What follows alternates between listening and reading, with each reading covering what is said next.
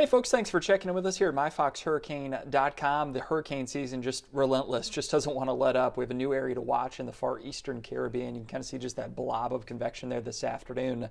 Uh, likely to become a tropical depression late in the weekend or early next week, and it's going to head due west across the Caribbean Sea towards Central America. Uh, in the short term, that is to say, the next five to seven days, this will move towards Nicaragua, Costa Rica, Honduras, that kind of general area, and likely produce some very heavy rainfall. Uh, in addition to uh, some localized flooding threat for them.